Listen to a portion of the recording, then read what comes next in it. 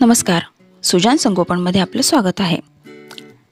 लहान बाळाला आहार चालू केल्यानंतर काय काळजी घ्यायला हवी आणि त्यासाठीच्या भरपूर सारी चवदार रेसिपीज आपण या चॅनलवरती अगोदर पाहिलेल्या आहेत.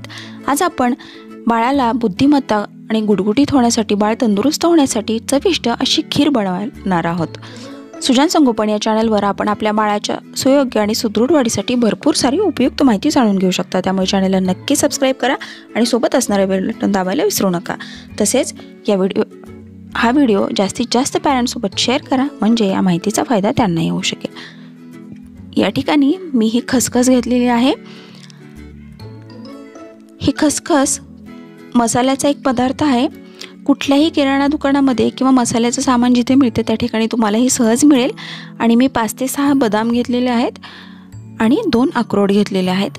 यासोबतच जर तुम्हाला हवा असेल तर तुम्ही इतर ड्रायफ्रूट्सही याच्यामध्ये घालू शकता. त्यानेही या खिरीची चव आणखीन उत्तम होईल. आता ही चार ते पाच खसखस तास खसखस भिजल्यानंतर आपण खीर तयार करायला घेणार आहोत. मी गॅसवरती दूध तापायला ठेवलेलं आहे. खसखस ही calcium zinc copper manganese magnesium आयर्नचा फायबरचा खूप चांगला स्रोत असते.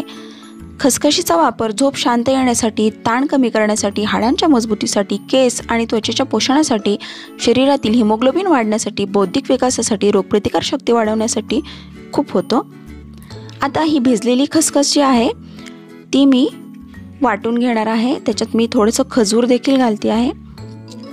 बाळाच्या बौद्धिक विकासासाठी वजनवाढीसाठी ही खीर खूप उत्तम आहे. त्यामुळे आठवड्यातून दोन ते तीन वेळा तुम्ही बाळाला एक वेळेचं जेवण म्हणून ही खीर अवश्य देऊ शकता. आता दूध व्यवस्थित उकळल्यानंतर आपण हे जे वाटण करून घेतलेलं आहे ते मी याच्यामध्ये घालून घेते आणि हे चार ते पाच मिनिट मी शिजवून घेणार आहे. पोटातील जंत कमी करण्यासाठी खसखशीचा खूप चांगला उपयोग होतो. तसेच आजारातून उठल्यानंतर ताकद वापस येण्यासाठी ताप कमी करण्यासाठी ही खसखस खूप उपयोगी असते. अगदी अगोदर आपण ही खसखस भिजत घातलेली होती त्यामुळे ही खूप लवकर शिजली जाते. खसखस भिजत घातल्यामुळे ती पचनासही आणखीन हलकी होते त्यामुळे भिजत घालून त्यानंतर आपण खसखशीची खीर करू शकतो. आता मी याच्यामध्ये थोडंसं तूप घालून ही खीर खाण्यासाठी सर्व करून घेते.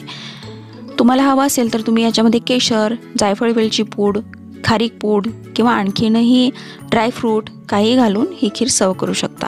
बाळाला देण्यासाठी आपण याच्यामध्ये थोडंसं आणखीन जर तुम्हाला गोडी वाढवायची असेल तर थोडासा गुळाचा खडा घालते आणि व्यवस्थित मिक्स करून द्या. गुळ घालताना मात्र तो व्यवस्थित थंड झाल्यानंतरच घाला कारण त्यामुळे दूध फाटू शकतं आणि खीर खराब होऊ शकते. तर अशी खीर बाळाला आठवड्यातून एक ते दोन वेळा जर तुम्ही दिली तर त्याचे खूप सारे फायदे बाळाला होतात.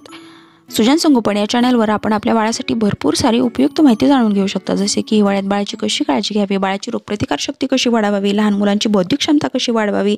लहान मुलांच्या विकासातील भरपूर साऱ्या महत्त्वपूर्ण गोष्टी आपण या चॅनलवरती जाणून घेऊ शकता. तसेच बाळंतिणीची काळजी कशी घ्यावी? गरोदरपणात आईची आणि बाळाची कशी काळजी घ्यावी? याबद्दलही चॅनलवरती भरपूर सारे व्हिडिओज आहेत. त्यामुळे चॅनलला नक्की सबस्क्राईब करा लाईक करा शेअर करा. थँक्यू